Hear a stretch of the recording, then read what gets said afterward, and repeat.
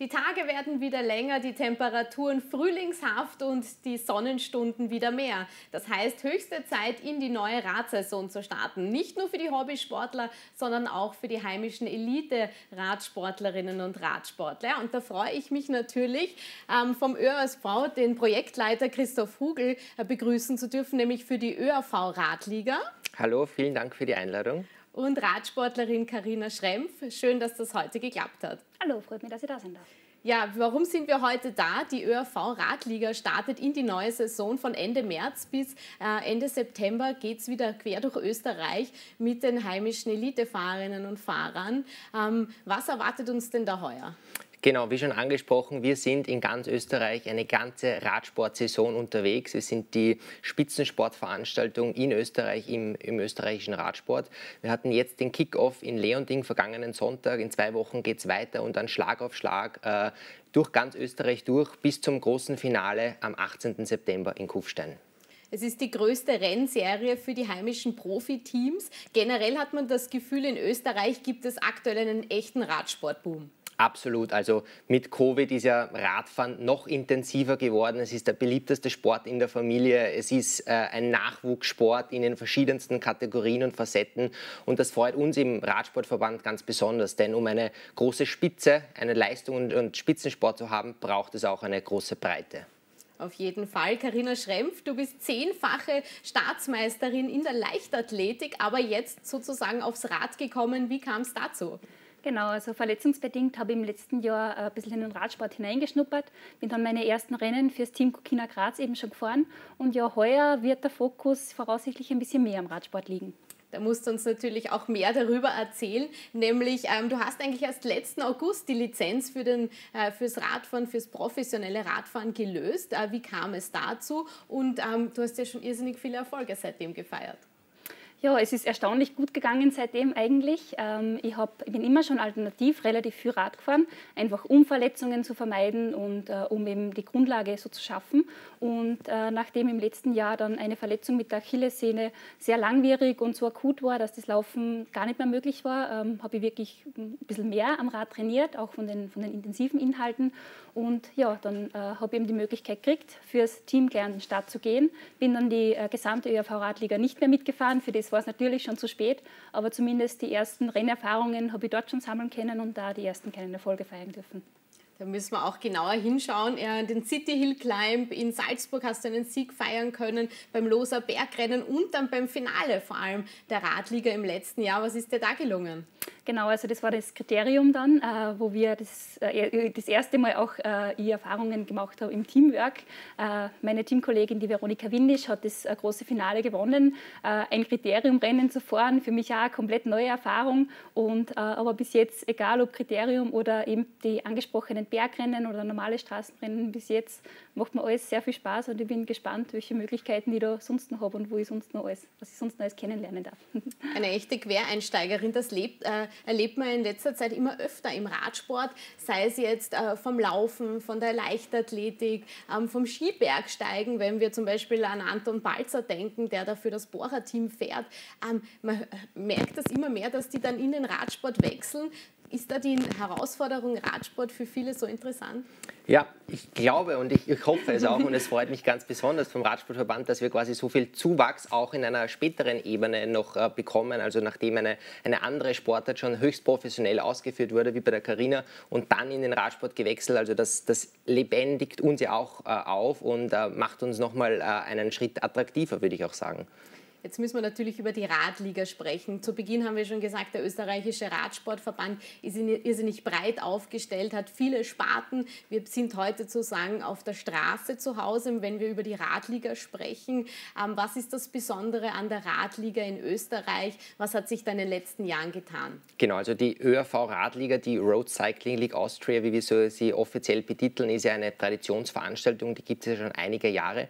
Aber in den letzten Jahren, vor allem konkret in den letzten zwei zwei Jahren haben wir da einfach äh, noch dieses Produkt Radliga weiterentwickelt und haben neben einer klassischen Herrenradliga auch eine Damenradliga äh, gegründet, weil wir einfach gemerkt haben, jetzt ist oder eigentlich viel zu spät ist der Zeitpunkt, das auch äh, für die Damen äh, anzubieten. Das ist eine, ein, ein ein Trend möchte ich jetzt nicht sagen, weil ein Trend kommt und geht, sondern einfach eine Veränderung, die man auch international spürt. Die UCI, der Weltverband, legt auch ganz stark jetzt den Fokus und in ihrer Strategie und im operativen Arbeiten.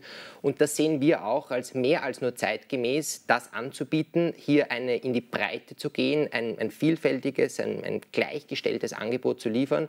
Und ich glaube, das gelingt uns ganz gut. Wir haben acht Rennen bei den Herren, wir haben acht Rennen bei den Damen. Die Austragungsinhalte sind ident. Äh, das Preisgeld, auch ein, ein, ein großer Punkt diesen Thematiken, wurde ident angepasst bei den Tagespreisen als auch bei den äh, Gesamtwertungspreisen. Und so wollen wir wirklich ein Produkt entwickeln, das für die Herren als auch die Damen komplett ident ist der Frauenradsport in Österreich, der ist auch richtig im Kommen. Äh, nicht nur in Österreich, sondern ähm, beobachtet es in ganz Europa. Wie hat sich das für dich angefühlt? War das so, dass du sagst, ich wollte immer schon einmal aufs Rad steigen oder hat sich das erst im letzten Jahr entwickelt, weil auch zum Beispiel wie mit der ÖRV-Radliga da irrsinnig viel getan wird in Österreich? Ähm, in der Entwicklung meiner Grundlage, also von der Grundlagenausdauer, die ich für das Laufen auch, schon mal gebraucht habe, bin ich immer schon viel am Rad gesessen.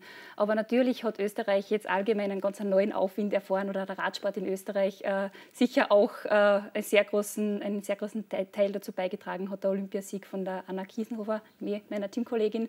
Ähm, es ist schon so, dass äh, Covid-bedingt sicher auch äh, man verstärkt den Zugang zum Radsport gefunden hat und auch äh, viele Breitensportveranstaltungen, die die sehr attraktiv sind, äh, wo wirklich äh, große Radrennen einmal das Ziel sind, auch von Breitensportlern. Und so ist, glaube ich, sowohl für die Entwicklung im, im Amateurbereich oder im Hobbybereich als auch im Profibereich äh, also sehr, eine sehr positive Entwicklung. Mhm den Olympiasieg von Anna Kiesenhofer, den müssen wir natürlich ansprechen. Ähm, das war unglaublich. Österreich war da wirklich, glaube ich, ein paar Wochen im kompletten Radsportfieber.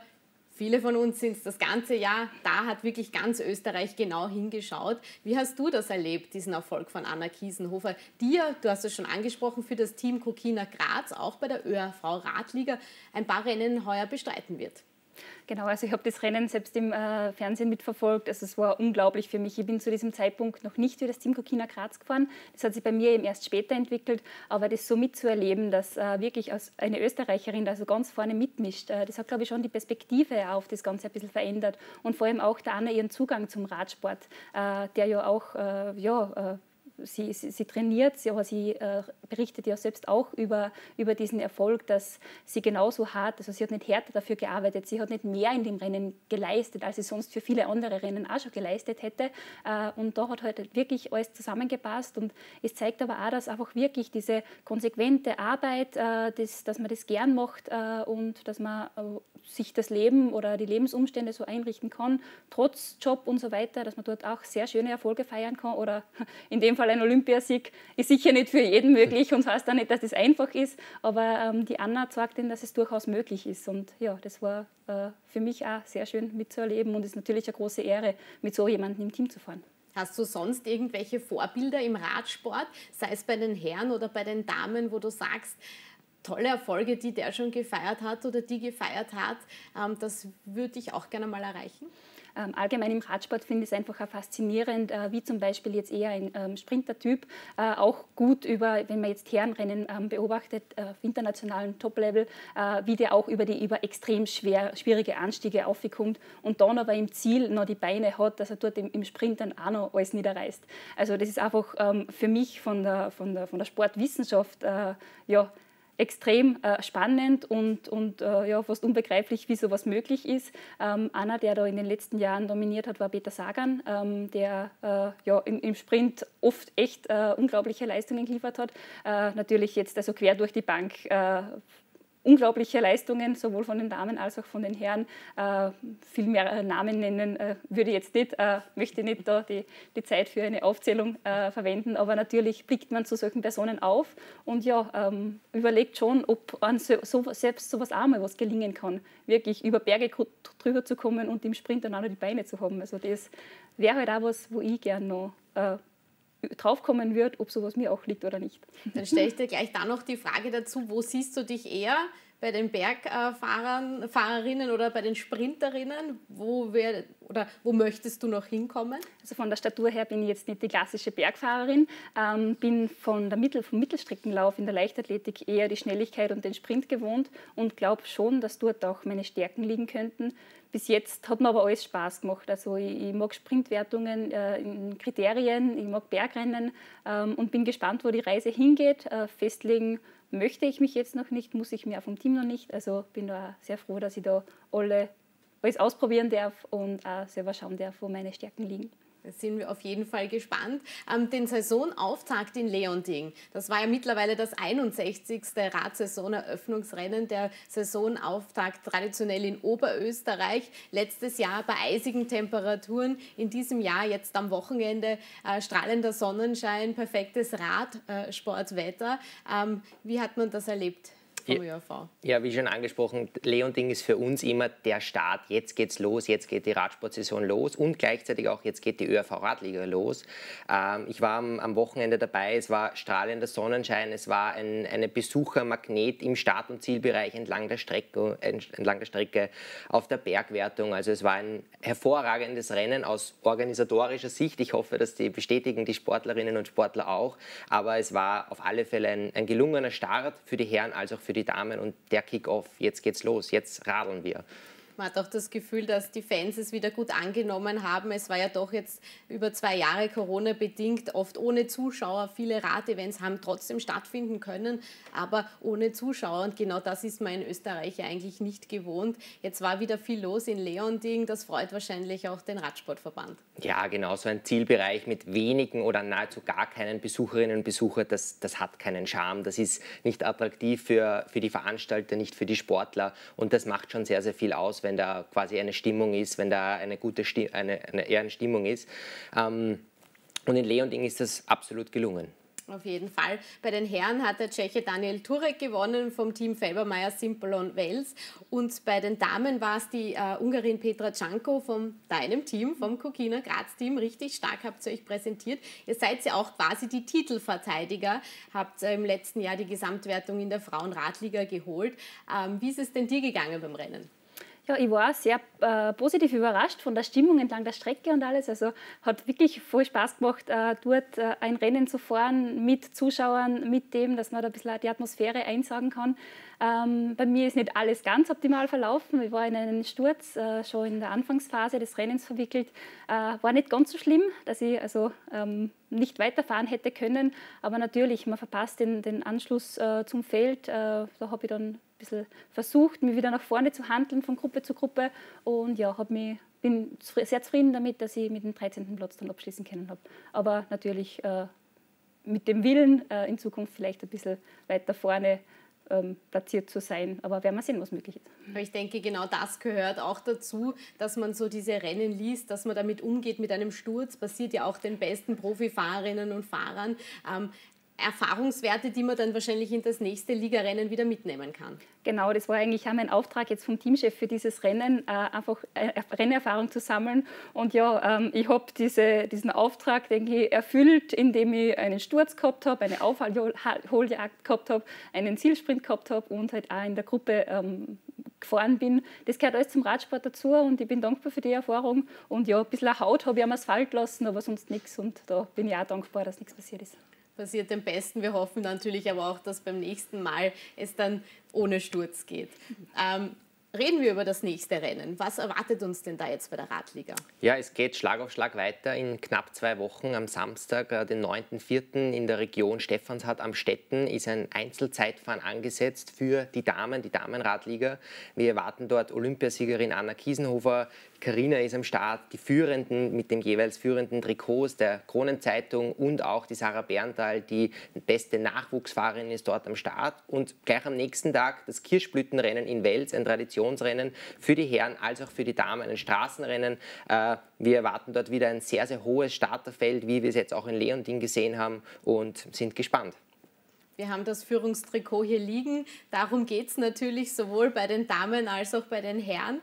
Ähm, Ganz generell gefragt, es gibt den gemeinsamen Auftakt in Leonding, den haben wir bereits hinter uns. Und dann gibt es geme den gemeinsamen Abschluss, das große Finale in Kufstein in Tirol. Hatten wir auch letztes Jahr die Staatsmeisterschaften Kufstein traditionell Radsport begeistert. Das heißt, äh, auch ein großes Finale gibt es dann. Absolut. Das hat mir letztes Jahr gesehen, dass die Staatsmeisterschaft in Kufstein wirklich sehr gut funktioniert, aus sportlicher Sicht als auch aus organisatorischer Sicht, weshalb wir uns dieses Jahr dazu entschieden haben, ein Finale in Kufstein auszutragen, im Tiroler Unterland quasi. Wird sicher ein, ein, sehr, sehr spannender Kurs wieder. Es gab ein paar Veränderungen, noch attraktiver für die Zuseher äh, dieses Jahr vermutlich. Und ähm, ich freue mich schon sehr, obwohl das Ende eigentlich noch sehr, sehr weit entfernt ist.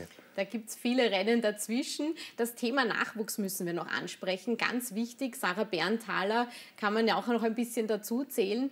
Ähm, so Nachwuchshoffnungen hat man die letzten Jahre immer wieder gesehen, dass die dann durch die Radliga ins Rampenlicht kommen. Absolut. Das ist auch das Ziel dieser Radliga. Wir sind quasi die nationale Spitzensportveranstaltung für die Elite-Fahrerinnen und Fahrer, aber gleichzeitig wollen wir auch die Nachwuchsfahrerinnen und Fahrer in der U23-Kategorie hier mitnehmen, hier teilnehmen lassen, dass sie quasi die Rennerfahrungen auf höchstem Niveau in Österreich kennenlernen, äh, denen auch eine Bühne, eine Präsentationsfläche bieten für zukünftige internationale Teams, internationale Einsätze. Und ähm, das ist uns sehr, sehr wichtig, dieser Fokus. Mhm. Wenn wir jetzt noch einmal von der Radliga ein bisschen wegschauen, gibt es jetzt am 2. April am Wiener Rathausplatz das große Bike Festival. Äh, auch da erwarten wir natürlich viele Zuschauer, viele Sparten aus dem Radsport. Äh, der ÖRV ist vertreten mit einem Stand und dann gibt es noch was Besonderes. Genau, wir freuen uns ganz besonders, dass wir bei diesem Bike Festival die größte Fahrradveranstaltung in Österreich und in, in Wien dementsprechend präsent sein dürfen und wir werden dort gemeinsam mit dem Vizekanzler und Sportminister Werner Kogler die Radsport Radsportler und Radsportlerin des Jahres 2021 ehren. Das ist die Anna Kiesenhofer mit ihrem Olympiasieg, Patrick Konrad mit der, dem Sieg der Tour de France-Etappe und Walter Ablinger auch mit Olympiagold. Die werden dort am Samstag um 14 Uhr auf der Hauptbühne des Bike-Festivals geehrt und danach gibt es auch noch eine Autogrammstunde mit den Athleten und Athletinnen. Ja, da gibt es jede Menge zu entdecken. Für dich geht es aber jetzt woanders hin. Erzähl uns, du fliegst heute wohin? Genau, also ich werde in mein erstes Radtrainingslager starten. Ähm, jetzt äh, rechtzeitig noch vor den nächsten Radligarennen. Äh, und ja, freue mich jetzt, dass ich da ein paar Tage unter der Sonne Mallorcas äh, ein paar Kilometer sammeln darf. Wir wünschen dir ganz viel Erfolg für diese Zeit in Mallorca, ein Trainingslager, Radsport. Da sieht man ja bei den äh, besten Fahrerinnen und Fahrern, das ist hart, aber unter der Sonne Mallorcas auf jeden Fall Fall wahrscheinlich auszuhalten. Und viel Erfolg natürlich auch für die weiteren Radliga-Rennen. Da werden wir mit der Krone ganz genau hinschauen. Christoph, noch ein kleiner Ausblick. Was erwartest du dir von der Radliga 2022? Was soll am Ende dastehen sozusagen? Ich erwarte, ich erwarte mir eine sehr, sehr sportlich attraktive Liga, die von den besten Athletinnen und Athleten gesteuert wird und dominiert wird. Ich bin gespannt, ob die Dominanz, die im letzten Jahr vorhanden war, wo es wirklich von Beginn an erkennbar war, wer diese Liga dominiert und anführt, ob das in diesem Jahr auch so sein wird. Wir haben sehr, sehr viele verschiedene Rennen, die Facetten des Straßenrennens eingebaut, von Einzelzeitfahren über äh, hügelige ähm, Straßenrennen wie in Königswiesen beispielsweise und dann auch wieder viele flachere Geschichten. Also es ist, glaube ich, für jeden was dabei. Es kann jeder sich äh, präsentieren auf den unterschiedlichsten Gegebenheiten. Und äh, ich freue mich auf eine spannende Saison, auf die Radsport-Community in Österreich und hoffe, dass äh, dieses Produkt ÖRV Radliga erfolgreich äh, veranstaltet und umgesetzt werden kann. Wir freuen uns auf spannende Rennen. Vielen Dank, Christoph Hugel, Karina Schrempf, für den Besuch im Studio bei Krone TV. Und Ihnen, liebe Zuschauer, vielen Dank fürs Zusehen und bis bald. Boom, boom.